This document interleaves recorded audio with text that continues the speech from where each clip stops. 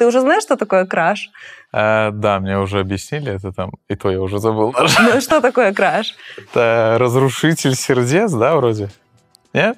Ну, я так понимаю, что краш — это э, ну, мужчина, который пользуется очень большим вниманием у девушек, и есть ряд таких э, мужчин, там, как Арестович, Ким. Угу. Для кого-то это Дурнев, для кого-то ты, для кого-то Лачин, вот, из молодого поколения. В общем, такие яркие парни, с которыми каждая девушка хотела бы пойти на свидание. Ты запомнил. Всем спасибо за это. Ты несколько дней уже в Киеве. Как тебе находиться среди гражданского населения? А, это всегда тяжело. А, всегда тяжело приезжать э, в город, и хочешь побыстрее уехать. Немножко потому, что не понимаешь людей. Э, вот, жизнь. Не можешь смотреть уже на эту жизнь, потому что есть жизнь уже там, вот, которая более понятна, чем это. А какие ощущения? Тебе кажется, что пока кто-то воюет, ты отдыхаешь? Да. Э, пока мы, не я, пока мы воюем, пока люди жертвуют жизнями, э, кто-то отдыхает. Но я понимаю, что это неправильное мое мышление, вот, потому что отдых нужен, и каждый, в принципе, отдыхает по-своему. Вот. Но все равно ты приезжаешь и смотришь на эту обстановку, и она тебя угнетает самого. Поэтому тяжело находиться. Тебе более привычно сейчас находиться на поле боя? Да, там, где бой или там, где парни, с которыми мы вместе воюем, вот та обстановка, она более привычная. Я смотрела твое видео, где ты возмущаешься, что вернулось очень много людей в Киев, и тебе некомфортно. Это, скорее всего, дискомфорт э, в плане все в дороге. Вот э, если водители, водители поймут военные, а у многих людей нет понимания о том, что все-таки военное время, и вы должны пропускать военных, либо оставлять им полосу для движения. А по итогу получается так, что многие просто подрезают, вырезают, не пропускают, и это очень мешает. Ну и ты злишься по этому поводу. Вот, э, вот такие, наверное, ситуации, поэтому ты бесишься. Ну, а то, что ты говорила, что гранату хочется кинуть, тебе не прилетело? Нет, нет, ну это всего лишь просто э, разговоры такие, поэтому, конечно, я бы такого не сделал бы, закинуть там гранату, вот. Но есть много ситуаций. Допустим, мне не нравится ситуация, возьмем, когда люди бычки кидают, да, на дорогу. Я, меня это дико начинает бесить, и я начинаю сразу конфликтовать. Вот. И поэтому лучше я уже там, там, где война, будут пацаны, и пока я от этого, от всего открещусь. А что ты можешь делать, вот если видишь, что человек кидает бычок? А, за заставить поднять его и выкинуть в мусор. Вот прям силой? А? Силой? А зачем силой? Ну, ты говоришь, он говорит, отъебись. Ну, если отъебись, можно за шкирки взять его и заставить выкинуть. Ну, а как? Ты не считаешь, что неправильно трогать людей? Почему? А не, так неправильно тоже сорить. Причем, э, причем это говорит белорус в, в его стране. Ну, то есть тоже такое. А человек живет в своей стране и гадит же прямо у себя на улице. Короче, ты хулиган, если так. Нет. Да. Расскажи, как выглядит твой день в Киеве. Сейчас? Да. А, проснулся, поехал на интервью, э, поел, поехал на интервью. И, ну вот, отвез машину на СТО, чтобы подготовить ее к заданию. Все.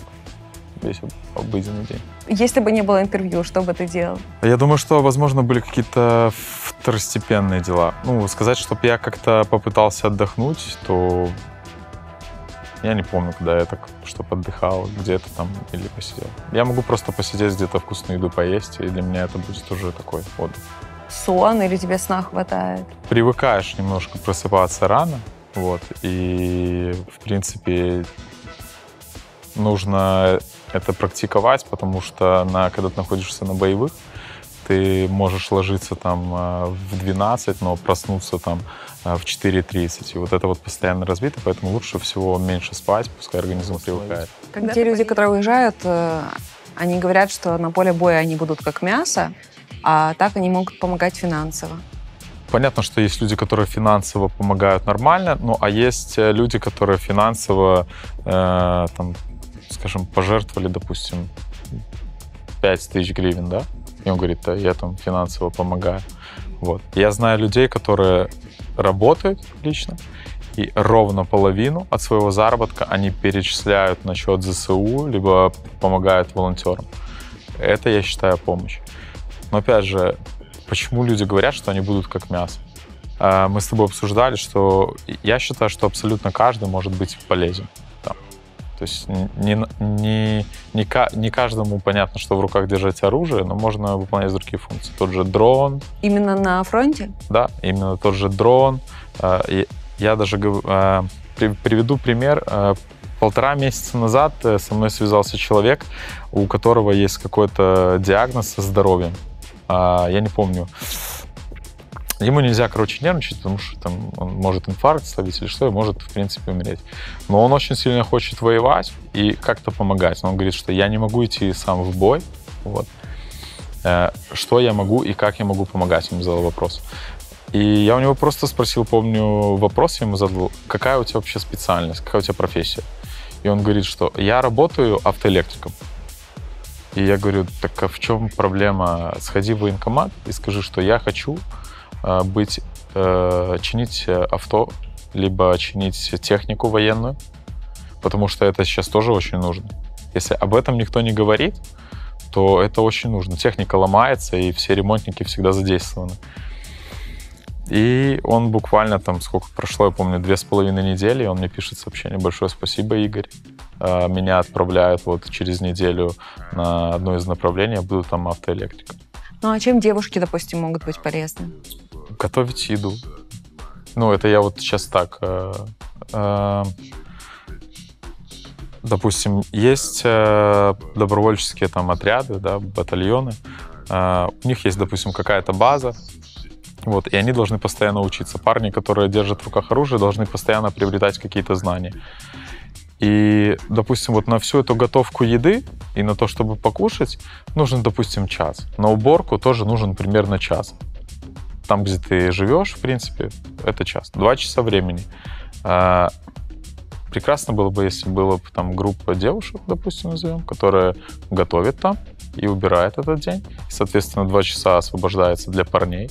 Они могут это потратить на отдых, который им а, больше нужен, чем девушкам, явно, перед боями. Или потратить их на обучение с пользой. И это так, я сейчас просто прикинул. Ну а какова вероятность, что если эту базу найдут орки, девушка не будет изнасилованная? Ну, это, наверное, твое просто какой-то... Вот ты сейчас, наверное, просто представляешь, что эта база находится где-то в центре оккупированного полностью места. Она скрытая такая. Нет, так, так не происходит, нет. Понятно, что это опасно. Ну, мы не говорим с тобой про девушек, потому что, ну, девушка это все-таки девушка, и я бы не хотел бы, чтобы девушка шла, допустим, на войну. Ну, если не девушка. будет хватать парней, то придется девушкам идти. Ну, тогда должно быть стыдно парням и мужчинам, в принципе, в этой стране, и тогда какое право они, в принципе, имеют себя называть мужчиной или парнем? Типа, сказать, что я доначу, какая-то девушка воюет. Вот сейчас появилось видео, я видел там девушка в окопах. Да. Вот. А я так понимаю, что она парамедик, судя по значку. Вот тебе еще задание для девушки. А, девушка может работать... Э, у нас были девушки-госпитальерши, а, которые были в группе эвакуации. Вот. Это если меня ранило, быстро машина приезжала, забирала и увозила.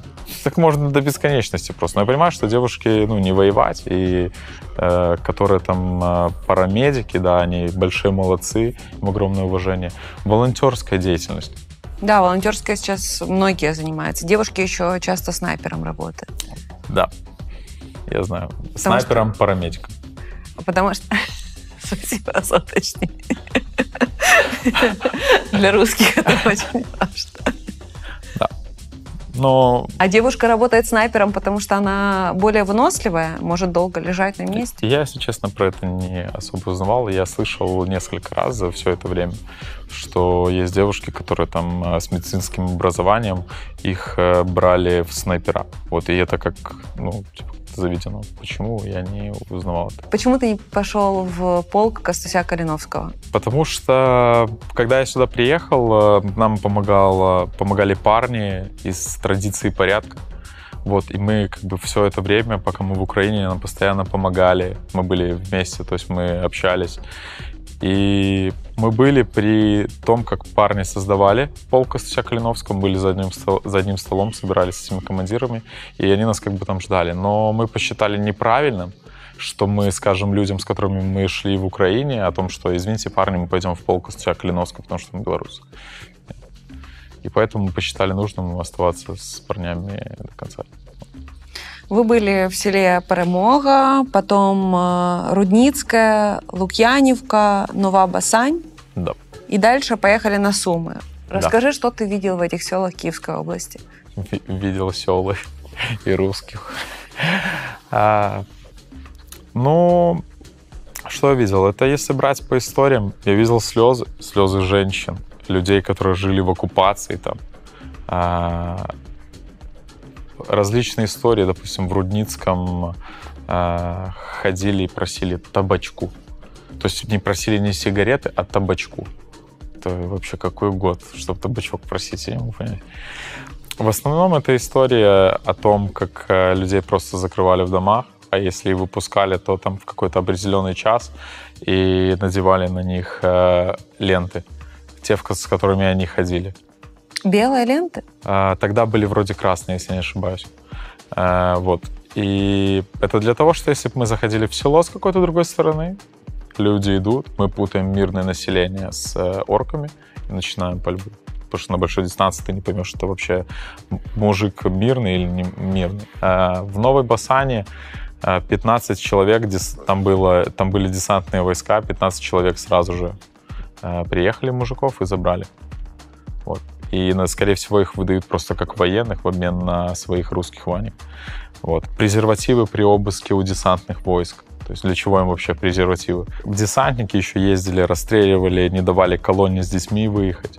То есть, а это спецвойска. Мы не говорим сейчас про бурят или про каких-то там, э, не знаю, обычные какие-то войска. Мы говорим сейчас про специальные войска. У, всегда специальные войска всегда кричат о своей чести какой-то, что они самые лучшие, элитные войска, а поступают они как самые последние гондоны. Нет у людей этих нечестей ничего. И вот это я видел. Видел парней, которые сдавались в плен э, в Лукьяновке 2001-2002 да, 2001, если не ошибаюсь, 2000 года. То есть совсем молодые. Да. В Новой Басане мы взяли в плен э, этого десантника одного, э, и он три года воюет за Россию в миротворческих э, всяких отрядах. Три года он воюет, деньги получает. Вот. Потом там взяли еще десантников, но мы их уже не допрашивали. Вот, их уже допрашивали другие люди. Вот. Но больше всего, скажем так, запоминающийся это был Лукьяновка и Новая Басань. Рудницкое, оно по-своему хорошее, потому что было первое село. Мы сразу туда зашли, и у нас не получилось э, сделать определенную задачу. Э, вот, но потом мы опять его забрали. Ребята, спасибо, что смотрели. Пишите свои комментарии, пишите что-то хорошее, когда вы думаете, что закончится война. Очень актуальный вопрос.